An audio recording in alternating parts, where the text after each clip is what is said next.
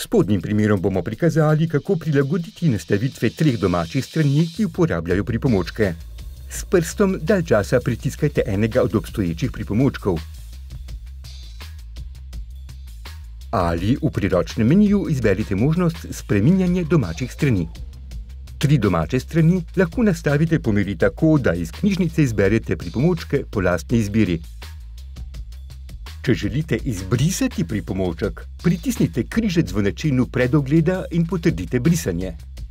Če želite dodati pripomoček, se dotaknite želenega pripomočka ter ga povlecite in spustite na prazno mesto na eni od treh strani.